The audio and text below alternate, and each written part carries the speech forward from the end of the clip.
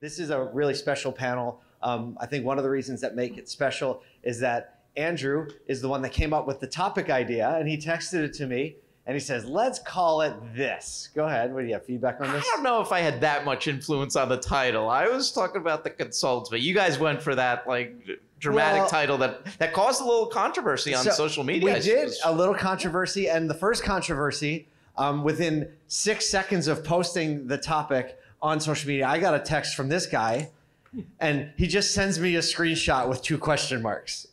right, which is typical Todd Caputo text message, and um, you know, so uh, he's like, what, "What is this?" you know, because he's like, "I'm a consultant now," and um, what what what I did was reminded him of the very back when he had stores and my agency congruent did work rebranding one of our most successful posts of all time was one of the first posts we made with his rebrand which was transitioning from todd caputo the used car king which todd would uh, prominently be featured in infomercials as cars paraded by and he would you know, tell you about the features and the benefits to sun automotive group simple upfront and nice and todd started building out a, a holistic brand that really worked well and what we did was engaged in this conversation of empathy where the Facebook post said, had a picture of Todd, and it said, dealers have been ripping people off for years. And Todd, Todd goes, what if they think it's me? And I was like, they already think it's you, but now at least we can talk about it. But it's not true. I wasn't doing that. He was not. He was not. But that engaged, actually, that post was our best performing post of all time because it also got people back to actual VDPs from a conversational post. So this this uh, topic of stop wasting money on consultants isn't. We're not saying that every dollar on a consultant is wasted, but what we are saying is that there are a lot of dollars wasted on consultants. And so, in the spirit of collaboration, um, I have three people on this panel that are, are very um, experienced with how to integrate consultants well and how to set your team up well for success when we are embarking on the very much needed outside objectivity into the, the dealerships and the operations that we are head down in passionate about so much so that we rarely get the opportunity to get up take a breath and slow down and look around. So uh, let me introduce uh, the panel uh, to my left here is the lovely Kimberly Barta, the CMO of Group One, and uh, I think her experience. You, you've been one of the the best uh, clients I've ever worked with, but also uh, one of the savviest when it comes to understanding the empathy of how people feel when a consultant comes or another agency comes into the business. Todd Caputo, uh, second generation dealer, and was acquired by Sonic several years ago, and now has dedicated his time to going. He just can't stay away from the dealers, but he wants to be in a store, right, helping solve the problems that he solved so well when he was a dealer. And then Andrew DiFeo um, of Hyundai of St. Augustine. Um, you know, he, uh, Andrew, you're, you're like a real sleeper in my mentality because I didn't, I hadn't even know you a year ago, and and uh, after I met you the first time, I was like, ah, I, there's something about this guy. And then the more I learn and the more I talk to you, and he, he's dropping LinkedIn posts about he went to a conference and was watching and listening to Mr. Beast. Which how many people know who Mr. Beast is? Okay, so some people have kids in here. Um, Mr. Beast, uh, the most popular YouTuber, and so I think we have a, really good panel. Uh, questions. Uh, we want questions, right? A lot of you either are consultants, work in that capacity, or have dealerships, and so uh, you probably know how it works by now. In the app, just tap on this session, ask some questions, and we'll make sure we get them answered. So, um, I'm going to kick off, uh, Kimberly, with you. you in our prep, panel prep call, we talked a lot about making sure your team is ready for a consultant if you want to make sure the relationship is successful. Why is that so important? I think the team can kind of make or break the relationship. And so I think one of the things I've learned over the years is to make that engagement really productive is a tremendous amount of prep work. And I think it's a little bit illusory. I think early in my career, I thought, oh, we'll bring in consultants and then take some work off of our shoulders. And that may happen eventually, but that prep work is so important. And I think understanding the people who are going to be detractors, the people who are going to have their guard up, people who are like might be you know really concerned about it, and then the people who are excited about it, and being able to communicate that um, in an appropriate way to the people who are coming in just helps set the stage for making a better better collaboration. And I do really look at it as collaboration because I've had experiences where brought in consultants who are incredible thought leaders, but we walked away with a expensive white paper. And then I've had experiences where um, we really learned how to operationalize it. Um, so I hope that answers the question. It does. What? Why don't we talk about for a second? Tag on to that. What is? You said you know sometimes we have very expensive consultant, and that we ended up with uh, an expensive white paper. What is the other side of that negative experience with a consultant when a consultant comes in and the team isn't fully prepared? What, what's the result of that?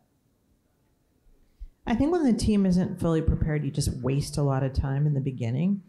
Um, and part of that prep is absolute clarity between you, your team, and the consultant, like what you're after. You know, you might meander on the process, but I think, you know, be as rigorous about bringing somebody on as a consultant as you would if you were bringing on a full time hire.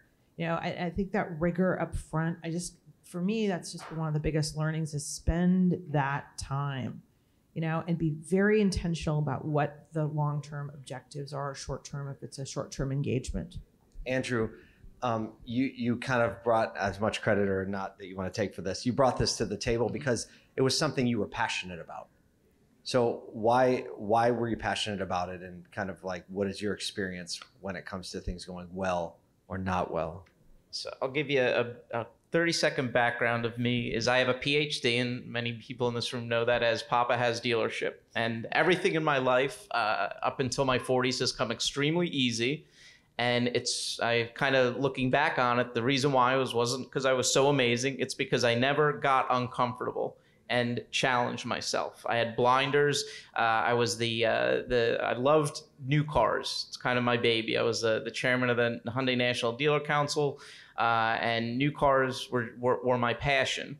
Uh, but I wanted to get uncomfortable, and uh, my friend Todd here had, the, you know, used car king, um, sold the businesses, went to work for Sonic, and I knew intentionally that I needed to get uncomfortable and get back into the used used car game. But I had the, the, the timing had to be right, and we want uh, talking about getting the team involved. And one of the you know you can waste money on consultants if your team isn't ready for this. So don't go down the path of hiring a consultant unless you are creating a culture that's ready to accept a consultant, uh, you know, on board.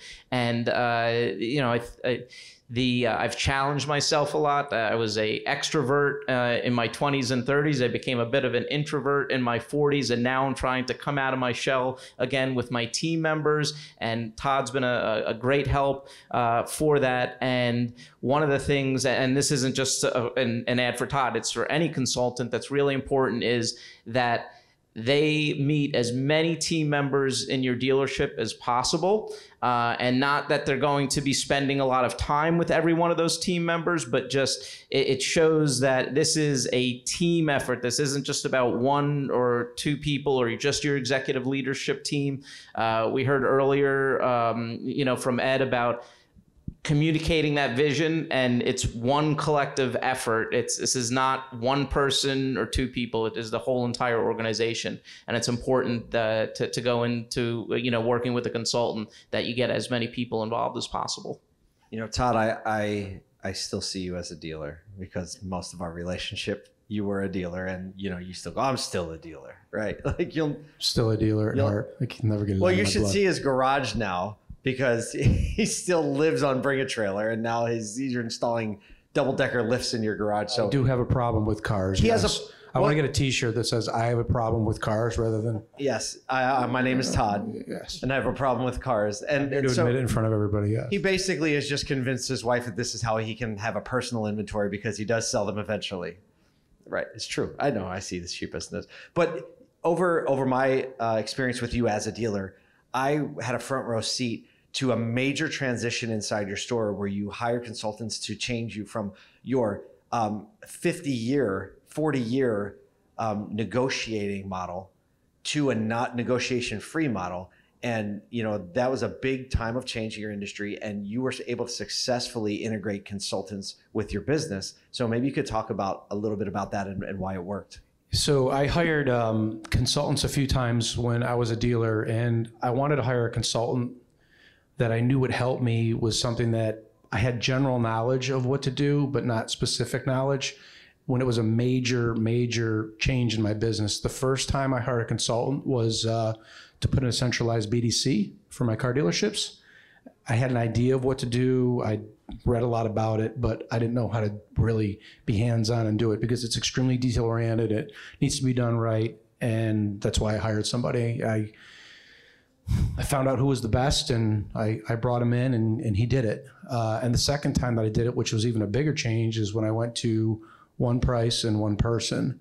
And um, I actually used two consultants for that. I started with one and finished up with another only because of the fact that the, the first consultant that I hired helped me get it actually in place. And then the second consultant that I hired helped me really kind of manage the process after it was done. Um, and again, it was not comfortable, like you brought up and you brought up, right? Like when you bring somebody in from the outside, it's not necessarily not necessarily comfort, comfortable for you as an owner, but it's also a huge fear for your people. And when I hired a consultant, my people were all like, "Well, why? Why are you bringing this person in? What are they doing?" And then when I work with dealers or even vendors, because I work with a lot of vendors too, they wonder the same thing, like, "Who is this guy? Why is he here?" So you know, explaining the why, like you said, Kimberly, like is so so important because from a consultant's perspective, and I know there's a few of you in the room here. Um, it makes our job a lot more difficult if people don't understand why. And it's not so we're going to give people grades or say that you should fire somebody. It's that's not the reason you're here. I look at it if I'm coming into a dealership or I'm working with a vendor, it's about opportunities, right? It's it's, it's finding opportunities to make the business better um, from a perspective where, at the end of the day, I don't have there's there's no. Uh, I, I, don't win by pointing out opportunities, right? I, I, the people in the dealership win or the vendor wins when I do that, and I just try to like I, I try to take that um, resistance down because people get so nervous when, when I come in. So if the owners or the executive leadership team, in your case, right, because you work for a publicly traded company, explain why um, in detail uh, with everybody involved in the organization, it's extremely helpful. So you've you've actually seen both sides of it, and I, I assume walking in as a consultant, all of a sudden you're like, I totally know how these other people are feeling right now when we're like, hey, this is Todd. He's really good at these things. And he's you know, it's like I'm with the government and I'm here to help. Right? it's really what it kind of feels like, I'm sure, to people, especially the people who made the decisions that are currently in place. Right? Because now it's going to be scrutinized and there's probably a level of insecurity because they, they you're there because something's not working, right? Or something needs to be working better. So um, this is for all of you, and now like we can just engage in this conversation. Feel free, um, you know, and whatever. Tell tell. Let's talk about the alignment. You've decided you need a consultant, or you want a consultant for a specific, you know, trajectory or lane in your business. Where does the prep work start? Like, how do you start to build alignment in your team? Who do you talk to first, and how how much do you communicate coming in? Like, how do you disarm people? Anybody? Um, I, I don't know if I could answer that first, but I, I would say this. You know, change is not easy for people at all, uh, no matter what the industry is. And I think that, you know, if I put myself in an owner's perspective when I used to be an owner, um, you know, I think you have to show people what's happening in the world around you. When when I decided to go um, with a BDC, I, I showed everybody in the dealership, especially the salespeople, that got very apprehensive. Right, like, wait a minute, we can handle leads, right? Well, you say you can handle leads, but you're you're busy selling cars, and you can't get back to people as quickly as they need to be responded to when you're handling leads. And this is actually going to make your life easier, so you can just sell more cars and not have to worry about you know taking care of leads and doing some follow up that's necessary. Uh, and then going to one price and one person. You know, before I did that, I did um, about a year and a half worth of diligence, which I've shared with you before, right? Like I visited a mystery shop CarMax. Um, I got a behind the scenes look at CarSense, which was an independent used group that Penske ended up buying.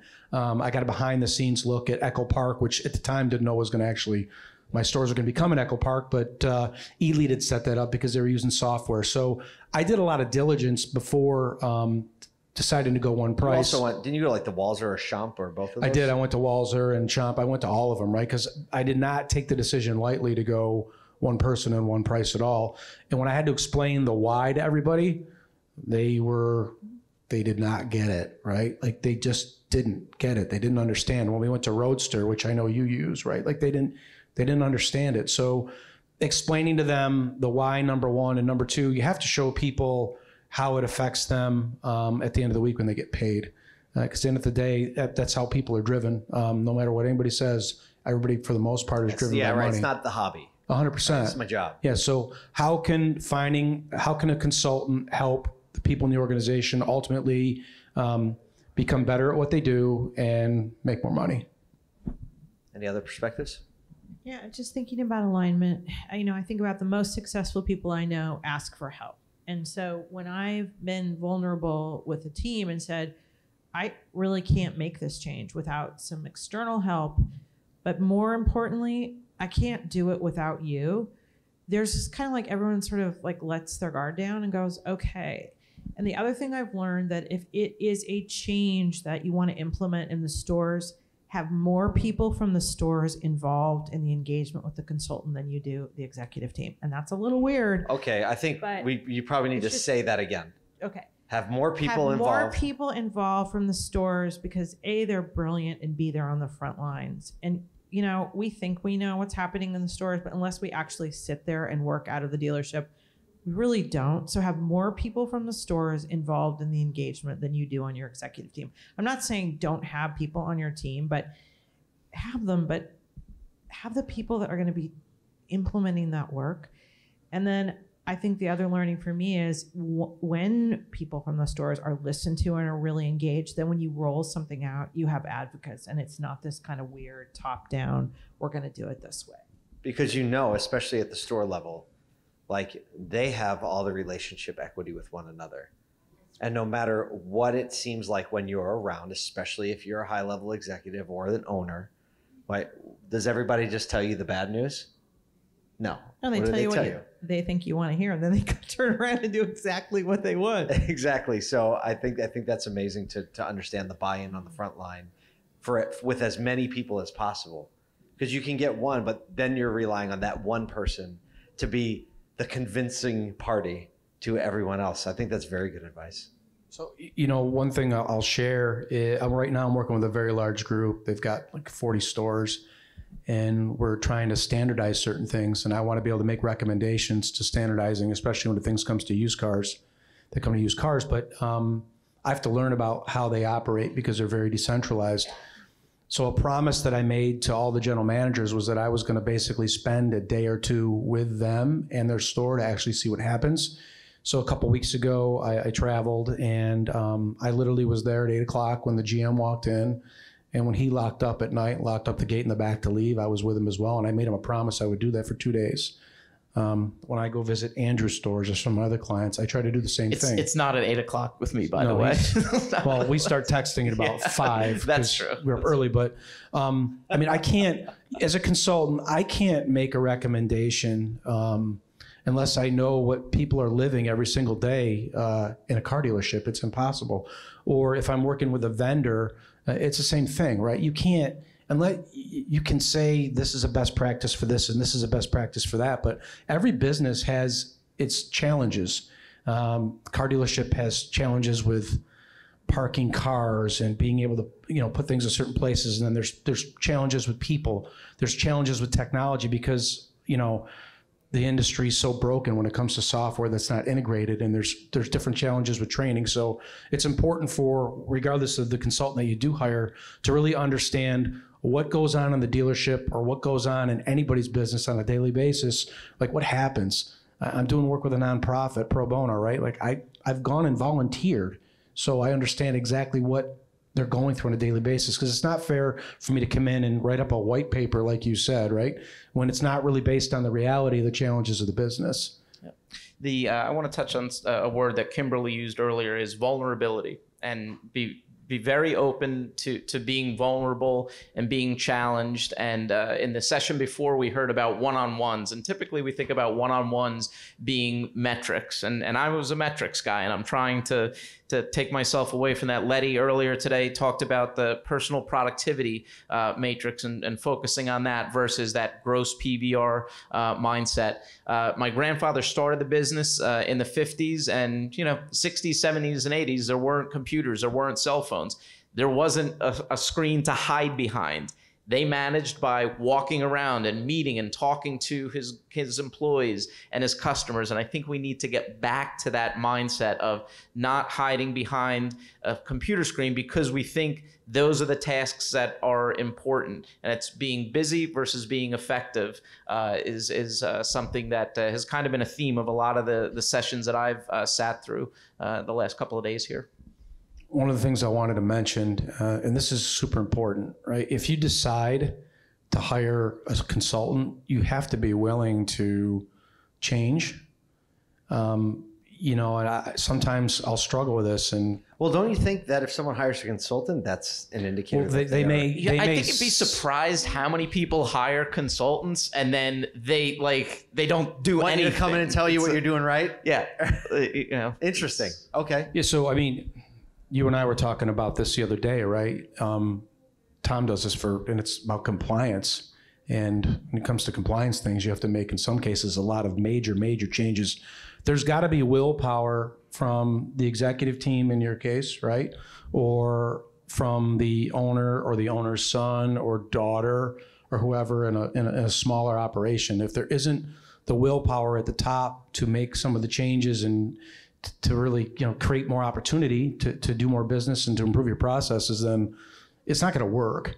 Um, so I always try to make sure that I've um, I'm, I'm teamed up with with the right people, and you know, in a couple of cases, I've actually started consulting and then I've left because I realize I'm not going to get anywhere, and I don't want to just do it to get paid. It's not about getting paid for me. It's about making some real changes and finding those opportunities and putting some processes in place. There's no point in me doing it and just getting a check if we're not going to actually make things better. And that's really important to think about if you're going to hire a consultant for sure.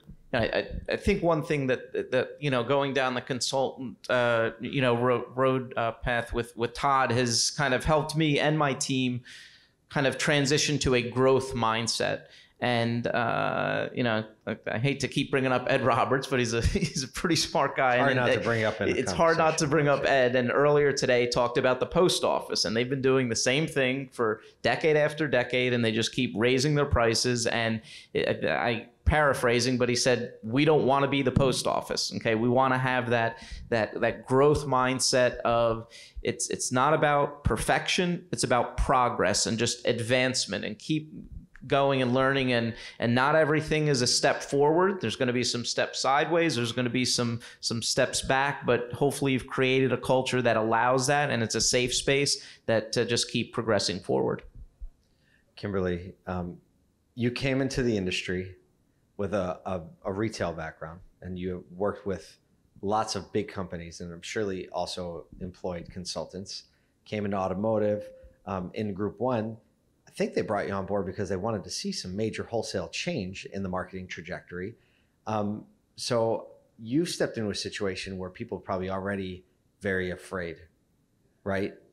Um, almost like yes, you coming in as the executive, but also kind of experiencing likely a similar feeling from your staff as if when you bring in like a really high powered consultant that's going to they know is going to also come in and deploy change. Can you tell us a little bit about when you came into Group One and how you handled the team and their emotions and you know the feelings that you knew they had about the change that was coming? Yeah, sure. Um, I guess I would start by saying I'll talk about my team, but I, I want to talk about my peers first. A big proof point for me coming to Group One was that before I came, I spent a lot of time with the executive team and the people that would be my peers, and there was no pressure uh, to make a decision quickly whatsoever. And I knew that these were people I could sit with in a room and have a disagreement about the way we wanted to do a business process or something that we were thinking about, strategy, whatever. and that I could leave that room and nobody would be gunning for me. And so I came in with a sense of trust from the leadership team, which was really, I think, important. And and you're right about the marketing team. They're like, who's this person who hasn't been in auto all their life? You know, and and so I think there are two things. Um, I mean, I'm still in the process of making change because I'm sort of in it for the long haul, and I don't feel like I have to make every change right away. Um, in my case, it was being a very good listener. And then, secondly, bringing the team together often and just being hugely transparent about what I was thinking and letting people kind of bang it around, agree with it or disagree with it. And being extremely honest that while I felt like I had a lot to offer from other industries and I had sort of a very much a customer insights, you know, mindset, that because there was plenty I didn't know about auto, there was a reliance on them. And because I just never faked it, you know, and could walk down the hall and say, How does this work? I don't, get it. You know, I think there was kind of a value exchange that that helped with that. But you'd have to you'd have to ask my team. But I think you're you're right about I did kind of have that feeling of being a consultant when I first came in. You used the word honest and transparent. Andrew used the word vulnerable um, all three obviously are are very closely related, and I think that really considering that as you bring outside voices in your organization, it's just been my personal experience that when you're willing to be very honest and vulnerable yourself as much as you can at the outset is where you get the most ROI on your time because if you're willing to tell um, let me kind of like bring this down to a, a dealership level responsibility. If you're changing, you know, uh, to a one price model, and you have that salesperson who is old school, and you know they've been there, they've been doing things the same way, and you know that's the person that is likely to cause the most problem, to talk behind your back the most, and try to like in in probably just self preservation mode, right? Because there's a lot of fear that comes with it. To bring that person in and vulnerability, be like, hey I've never done this model, and I know you are on the front lines every day, and you know you know what the customers are coming in and saying. So I really need you to help us work through this situation. I need your advice. I need your help. And similar to you, like I'm not, I haven't been in the car business, and being willing to do that at the beginning. Do you think that person is then going to try to get you more allies, or try to push back? And so the vulnerability piece, I lean in on it because it's just a human dynamic that everyone fears fears or feels. And, and fears. And and fears. They fear it. Well they, they feel the fear right? Yeah. the fear is it. And we know from like great minds like seth godin they talk about the lizard brain and what happens when the boss says hey can, can i talk to you in my office for a minute? It's never oh good they finally recognize all the hard work i've been doing right no it's not that it's like oh my gosh i did something wrong i don't know what but i'm going to get fired i'm not going to be able to pay my mortgage i'm going to be homeless i'm going to die right? And it sounds like that, but when you start to think about it, that is how the human brain mind works before you have a chance to do it. So um, I think the vulnerability piece in the context of preparing your team is something that um, probably don't see that much of when it comes to bringing a consultant. I think, do do you all feel like a similar emotion happens or a similar thing happens? Say it's not a consultant, but say it's changing to a new tech platform. Mm-hmm do you, do you feel that there's some similarities there? Because I think that's also a very shared experience across dealers. Changing to a new tech form, it, that's a nightmare. There's an instant fear, uh, especially if it's a CRM or a DMS. But again, that goes back to the question of explain why first, right? If you're going to put in a new piece of software, which is going to affect process, uh, which is going to affect people's day to day life, you have to really explain to people, you know, why are we going to switch from eLead to DriveCentric? Well, here's why. It's not easy to explain. Some people don't understand it at all. There's a huge fear in putting any piece of software in.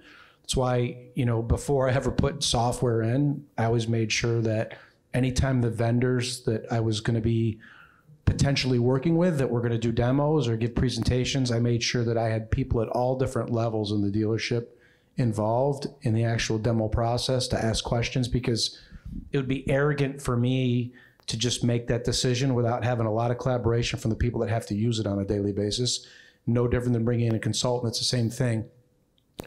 A dealer or president of a company or whoever can't just bring in a consultant without explaining to people, you know, why are they coming, right? Like, where do we have this opportunity, and where do you feel that you know they can help you, um, you know, find opportunities and do your job better? And you know, you know, it's like getting a DMS or CRM is like getting divorced. It's awful. Yeah. You know, we hear this word "why" a lot. or getting married. Wait a minute. Hold on a minute. So, so we hear this word uh, "why" a lot, and uh, we heard a little bit about cross training in the in the um, the panel before this, and uh, how how Daniel uh, sent uh, a, um, a uh, I think it was an accounting clerk to GM school uh, to, to to understand the the part statement and dissecting that. And I used the example I was telling Todd that I started to educate my sales force on what floor plan expense is and why it's always been important. But as interest rates continue to climb, the, the fact that that car sits there each day costs X amount of dollars, and why we're so obsessed with the turn rate and everything. But again, it goes back to the word why. And I think that I know that's something I'm going to bring away from this conference and, and working with Todd is to kind of make sure as many of our associates and team members at, at our businesses understand the everybody's why, both um, personally, but also professionally. I mean, a lot of people in sales have never been exposed to service and vice versa. And I know I'm, when I go back to the store, I'm going to try to spend a lot more time uh, with my, especially frontline employees that that deal with dozens or hundreds of people a day of of why they do the things they do to be more uh, empathetic to them. I want to just mention something too that I think is important, especially in the automobile business. There's a lot of um, there's a lot of family car dealerships out there, right? Um, small stores or even larger groups where there's a lot of family involved. And what I've learned over the last year and a half doing this, right? Like in a lot of cases, I'm almost like a uh, like a social worker or a therapist in a lot of cases because there's brothers and sisters that don't get along, or brothers and brothers that don't get along, or the father's fighting with the son, or there are people that work in the dealership that are family members, and there's conflicts there too. It was helpful for me because of the fact that I grew up working with my father, and um, we didn't always get along. And my mom worked at the dealership too back when we were really, you know, we we're just just one store and it was real small. But I think if you're going to choose a consultant and um, you have that dynamic, I think it's important to maybe find a consultant that can relate to that as well because that causes um, it can cause a lot of problems. Um, I mean, we have a client who's similar, right? I think you know who I'm talking about, where it's a brother and sister, and Yeah. uh, they're like yin and yang. Um, Yeah. They're great people, Yeah. but it's it. You have to be able to navigate that too as a consultant when you come in. And the other thing too, I would say is, um, depending on what you're hiring a consultant for, um, you know, you have to you have to hire someone who knows what it's like to deal with being responsible for a lot of people. Um, if they weren't responsible for a lot of people, they don't necessarily understand that pressure. Because Sure, the there is a lot, there is a lot of decisions you may carry. Correct. There's a lot of decisions that affect. It doesn't matter if you got a store with 40 employees or you're responsible for a group of 4,000 or or, or, or 10,000 or whatever, right? Like the the decisions you make affect people's families, and that's a lot of pressure. So if you can talk to somebody and have personal conversations with them that aren't necessarily quote unquote work conversations about that pressure, um, which I do have with clients that are dealers and non-dealers as well, I think that's helpful. Um, and that would be one question I would ask a consultant, right? Like, were you in a position ever where you were writing a check um, or you were responsible for a lot of people? I think that's important. Very much. I think a similar thing, um, if you are a larger group or you you know in a sim- similar situation as you, where you have an executive team, that's a very different dynamic, also, than a family business where you have to na- be able to understand and navigate executive level dynamics and pressures and like what is important to each individual one and how do you actually navigate those things together. Um, we have a couple questions and what i'm going to do is uh, we have eight minutes left and um, i'm going to actually go around to the people that ask the questions on the app and uh, i think it'd just be better if you communicate your questions directly and then if there are any other questions or we have time uh, we'll go to those uh, the first one is eric haig Alan Haig's son. You recognize the last name. Here's the future of mergers and acquisitions. Thank you, Paul. So, Kimberly, Todd, this question is really for you two, uh, particularly you, Todd, you know, having been on both sides of the fence here. But my question really was about the gulf between strategy and execution. You know, my past is in strategy consulting, and I feel like I've been on that side where you're writing an expensive white paper. You know, you're, you cut it, the check is cut by the client, but nobody, no party walks away feeling good about it. So let's imagine an engagement where a consultant comes in but is unable to kind of be at that dealership level and be meeting with store by store employees. You know, how does someone actually create a successful engagement without having kind of that personal connection with employees at the dealerships?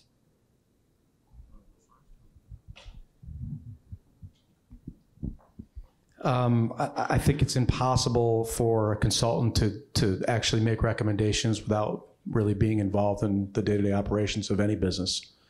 Uh, I think if you're just coming in from the outside, kind of like I mentioned before, and literally a day in the life of, a day in the life of the GM, a day in the life of the sales manager, a day in the life of the the service advisor. Um, it was helpful for me because I, again, I was born and raised in the car business, so I can relate to people extremely well uh, in a car dealership.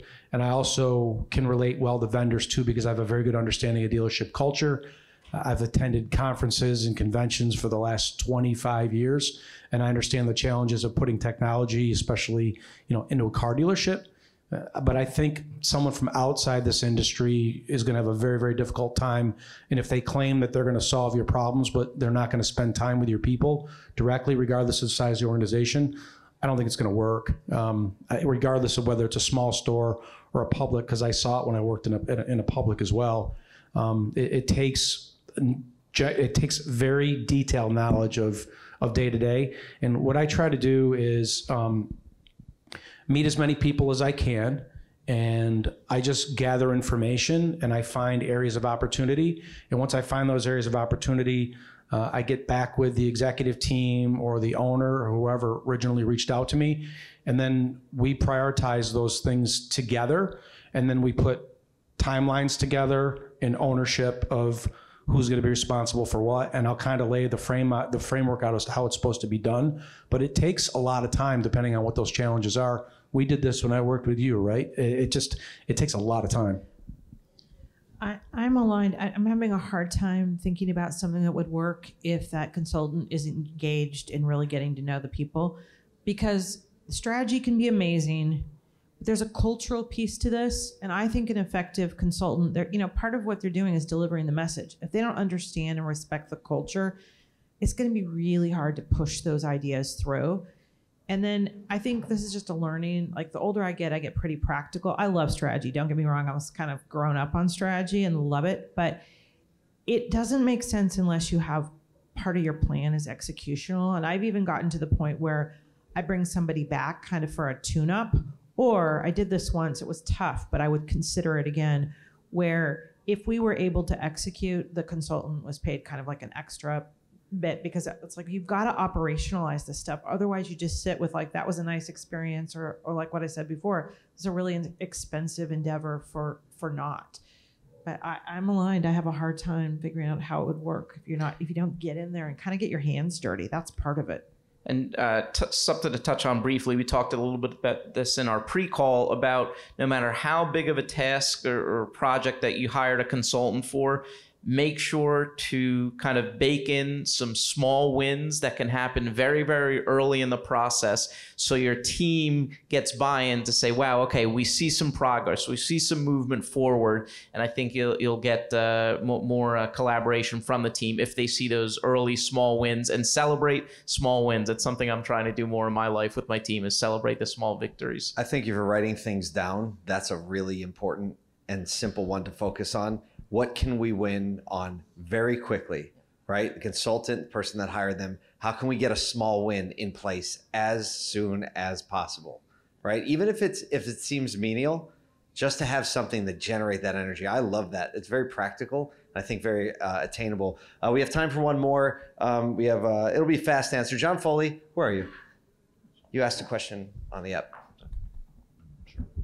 I think really you've answered the question um, pretty well to this point. So maybe just zooming in on the last part, um, you know, and, and Todd, you can probably speak from experience here, but what are, you know, what have teams done or owners to prepare their team uh, for your arrival that has, have been, you know, most successful, best practice? I, I think um, gathering everybody together and explaining, you know, first of all, why, what opportunities they see, what challenges they see in the business um, that are coming in the future or may already be there now is extremely important. And then explaining who the consultant is, who he or she is, why they're coming, how they were successful, and then eventually, you know, what you want the outcomes to be. I think that's probably, you know, a pretty basic answer. But, um, you know, again, I've, Andrew was very clear um, when he hired me with his staff. And I've had a couple of clients that have not been so clear, so it's definitely been a little bit more of a challenge. So the clear, you know, the clear objectives, the clear challenges, who's coming, why he or she's coming, and then what we hope to get, and then you know, with some sort of timeline in place, is probably, you know, probably the best thing you could probably do if you're if you're going to go down that road. Anyone else want to weigh in on that one? I- just for a, a small win that I did with my team is I took my executive team out out to dinner and and Todd I had Todd fly in for it to, to be part of the the, the, the process. And I think uh, you know the team really appreciated that that you took the time out of your your schedule to, to come down and, and vice versa that you were included in that process you know because we got to kind of again talk business aside talk personal stuff and our whys outside you, of the you got to be able to build trust um, you know and sometimes con- you know my personality might not work for some organizations and and vice versa. But if there's no trust then it's never going to work. So you know the people that work in the business have to trust the consultant and and vice versa. If there's no trust it's it's going to fail. Kimberly, you get the last word. I don't know if I have a lot more to offer. I think these are great suggestions. okay who's your favorite Paul or Kyle no we know because Kyle's not in the room. Easy answer. I'm not going to answer that. you can pass Pass. Both have their strengths. Okay, well, uh, can we hear for our panelists, Kimberly, Todd, Andrew? Thank you so much for sharing some of your wisdom and your time with us today. Thank you for spending time with us. Appreciate it.